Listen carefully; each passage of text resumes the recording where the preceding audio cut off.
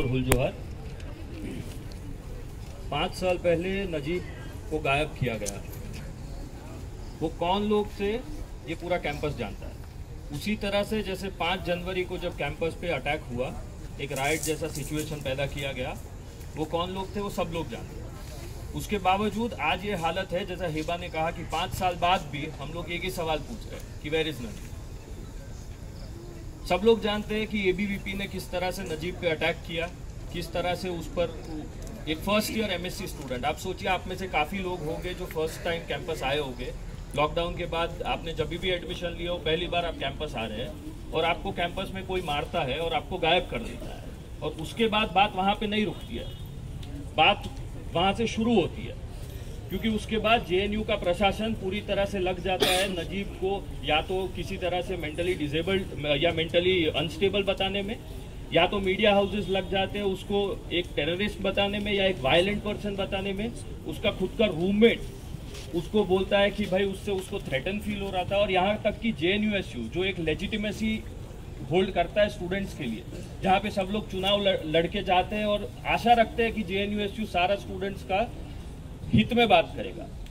वह उसका प्रेसिडेंट जो अभी कांग्रेस पार्टी में है, वो प्रेसिडेंट उस चीज़ पे दस्तखत देते हैं कि भाई हाँ नजीब ने ही स्कफल शुरू किया और उसको स्कफल बोला जाता है। सही बात बोला मेरे से पहले जो वक्ता आके बोले वो। उसके बाद पाँच साल बाद एक जुडिशियल प्रोसेस में जाने के बाद judiciary CBI police all of these people have failed Najib failed Najib's mother and they have failed all of the students.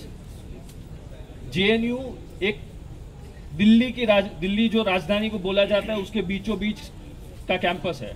उसमें से एक स्टूडेंट गायब हो जाता है और आपको कोई परवाह नहीं है। 2016 में और एक घटना बनी थी। जनवरी में रोहित वेम्यूला जो एच में स्टूडेंट है, उनके साथ यही चीज़ हुआ। एबीवीपी ने उन पर अटैक किया, उनके खिलाफ रिपोर्ट्स एडमिन को दिया और एडमिनिस्ट्रेशन ने उनको हॉस्टल से निकाल दिया।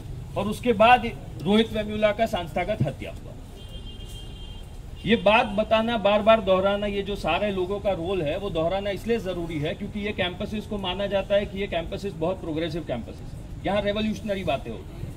यहाँ देश को ट्रांसफॉर्म करने की बातें होती लेकिन ये सारे मेटा नैरेटिव के पीछे जो छुपा हुआ है, वो है मार्जिनलाइज मार्जिनलाइज स्टूडेंट के साथ। किस तरह की रोज़ाना जातियाँ होती है, किस तरह से उनको दबाया जाता है, उनको कैंपस के अंदर भी मार्जिनलाइज किया जाता है। उसके बारे में कोई बात नहीं करता। तो ये इसलिए ज़रूरी है दोहराना। और ये सब दोहराने के बाद एक सवाल उठता है कि हम लोग क्या कर रहे हैं। जितना भी ये कैंपस का खास करके मार्जिनलाइज तबके से आने वाला स्टूडेंट है, चाहे वो मुस्लिम समाज से है, चाहे एस सी एस टी जो भी मार्जिनलाइज समाज से है, वो स्टूडेंट्स को आगे क्या करना है? हम सब के आपस में आइडियोलॉजिकल मतभेद है। हम सब के आपस में डिफरेंसेस है with regards to what we believe in कोई कॉन्स्टिट्यूशन में मानता है, कोई नहीं मान रहा है। कोई इस्लाम में मान रहा है, कोई नहीं मान रहा है। कोई बुद्धिज्म में मान रहा है, कोई नहीं मान रहा है। लेकिन ये तमाम मतभेदों के बावजूद, जो हम लोग को एक शेयर्ड ऑर्गेनिक सॉलिडारिटी देता है, वो है कि हम सबको, सबके ऊपर एक तरह का ऑपरेशन होता है, एक तरह का दबाव होता है। And this is a basic minimum on which all of us can come together and we have done that For the past several years, BAPSA, MSF, SIO, fraternity have shown how a new kind of politics can be articulated, जहाँ marginalise student अपनी बात खुद आकर करेंगे। मान्यवर कांचीराम साहब एक बात बोला करते थे और मान्यवर कांचीराम साहब का नाम भी ऐसा है कि कैंपस पे लेफ़्ट उनसे चिढ़ता है।